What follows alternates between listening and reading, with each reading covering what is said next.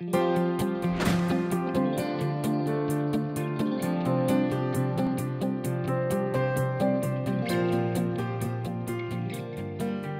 I uh, want to set a bit of background uh, and starts with some work that NIPA have published uh, recently, and I know Dan Halloran's here somewhere and is speaking about it this afternoon. But uh, the NIPA report shows, um, again, that there's still significant variation in the cost of hospital delivery. We've heard uh, this a number of times over the last day and a half, uh, but the latest report shows that there's still significant variation in costs. And whilst the national efficient price um, is a, an excellent guide to uh, what the benchmark price is um, uh, for, for delivery of services, it actually doesn't, I, I think, give a whole lot of help to um, where uh, the differentials in costs are. And I see Phil Girello um, smiling at me as I flick back to that slide. I'll just leave it up there a little bit longer uh, for, for the ACT. Um, and I guess the bottom line is here that ABF uh, produces um, masses of data, um, lots and lots of data, and if we can turn some of this data into information, it can actually help to improve uh, the efficiency of hospitals uh, by reducing variation, so variation in care and variation in cost.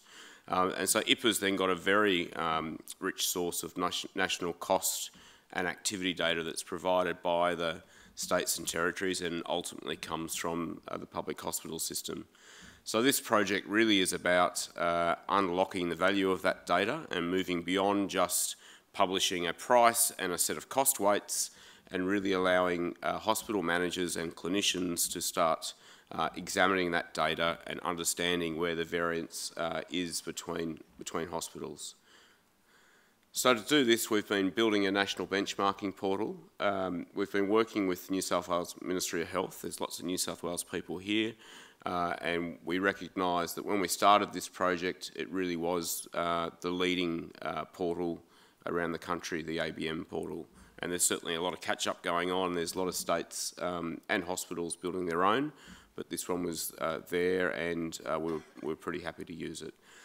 So the, the, portal will allow the comparison of uh, hospital level cost and activity um, data at the level of the DRG, uh, at the level of the principal diagnosis uh, and principal procedure, uh, and also at the cost bucket level. So it's going to allow people to start to really interrogate and compare their costs with any other hospital in Australia that provides data to the uh, NHCDC. Uh, we're loading in three years worth of data, so able to see some trends as well. Um, and at the moment we're up to 12, 13, and we hope to have 13, 14 and 14, 15 data in uh, as soon as we can. And as I said, it's, it's hosted by uh, the New South Wales Ministry of Health. Uh, so this is um, the first page in the portal. Uh, all This is all streams of activity, uh, and you can see the, the display of the cost per NWAU uh, by state. Uh, and then over here on the right-hand side uh, has the actual numbers. So this aligns with what we already know, that uh, Victoria uh, and New South Wales are, are operating below the national average. I've embarrassed Phil out of the room. He's, he's going home.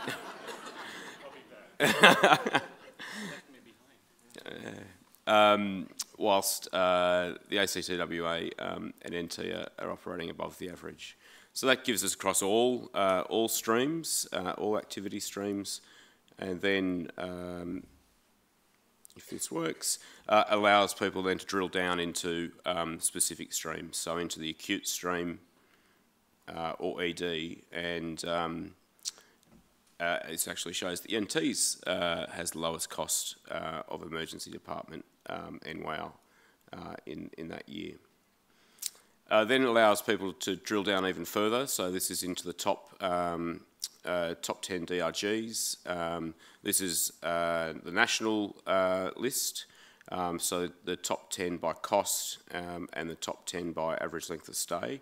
And you can see uh, allows you to compare uh, your selection with the national averages. So on these slides, it is the national, so the average is the, is the same as the selection but we'll allow people to get down to um, uh, quite a low level, down to LHN, and then down to uh, hospital level, and compare um, uh, compare the performance against um, against the national averages.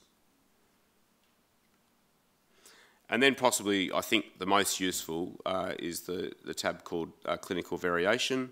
Uh, so again, we've done this at the national level. We've chosen two DRGs, um, uh, F62A and F62B, so heart failure and shock, uh, and compares both the uh, average cost per episode and the average length of stay and, and the size of the um, ball as well. Um, and then you can see down here then, down to the bucket level, uh, where the differences in costs are. So straight away, you can see that the cost of nursing uh, in Victoria is significantly different uh, to the rest of the country, as is the cost of medical. So this really will allow people to get down um, to the, uh, the lowest level. Uh, it will also allow you to compare hospitals with hospitals. Um, so we've, we've loaded in the, uh, the national peer groups, the AIHW peer groups, but it will allow you to pick um, for example, if you're a clinician at the Royal Melbourne, uh, who I was speaking to before, who wants to compare their trauma service with like trauma services around the country, you'll be able to pick uh, exactly which hospital you want to compare with. Uh, and then uh, this quick report um, even allows you to go even further with a whole lot more variables that you're able to choose. So you can see straight away we're going to have a very simple, uh, easy to drive tool uh, that people will be able to interrogate and, and really start to explore uh, what the differences in costs are um, at both, you know, at the DRG, but across all classes, I should hasten to add, not just DRGs, uh, but also at the, at the um, diagnosis um, and, um, and procedure level, uh, across peer groups, uh, across regions, um, and, and really, uh, really drive some good analysis uh, of differences in cost.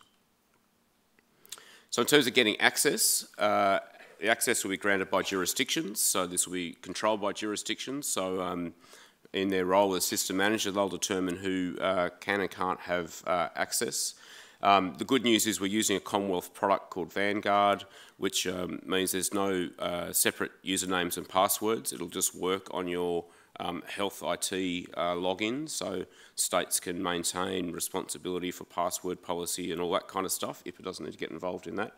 Um, and essentially what happens is the, the state um, department in all states except Victoria, I should add, um, uh, will give users access uh, through the Active Directory system. Uh, this then uh, authenticates through Vanguard in Canberra uh, on the cloud, and that then gives you direct access to the, um, to the portal. So essentially for users, if you've been granted permission by your state department, you hit the link, it will log you straight in automatically. So there's no, no messing around with passwords and um, uh, usernames, which uh, from our side is um, a pretty neat thing. Um, so we're working with the states now to, to get them all signed up uh, to the Vanguard service, which is, is extremely simple. In the case of Victoria, we'll need to sign up each health service one by one, and we're working with the department on how that might happen. Um, so we expect to launch it in the next few weeks. Uh, I'm taking some ideas from Frank about how we might do that. Uh, if Claudia, if he's finished with Claudia Schiffer, we might see if she can come and help us. Um, we had really hoped to do the launch, uh, a, really, uh, you know, a hard launch today, but uh, like awkward IT projects, um, we've gone slightly uh, over over schedule, not over budget though, so I think that's not too bad. So we will launch that through our website and through our um, stakeholder emails and probably through the delegate list here, just to let you know when it's launched. Um, and then we will also tell you who the contact people are in your state um, about how you go about organising access to the portal. Uh, and there'll be stuff on our website around how to use the portal and um, troubleshooting and all those sorts of things as well.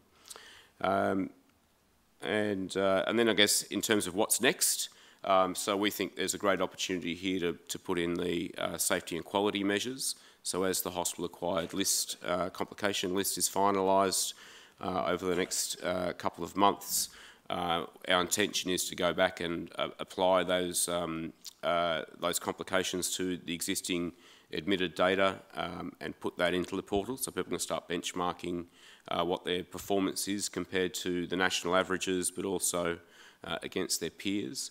There's certainly an opportunity for us to put some information around uh, readmissions. Um, And then I think there's a, a, a longer term opportunity to really start to use the, uh, the underlying data, the input data to the classifications uh, to really drive some clinical benchmarking. So what is the variation in FIM scores across the country or HONOS scores uh, in mental health? Uh, and as we get that data coming in, we'll be able to build more and more capability into this product. Um, so that brings me to an end.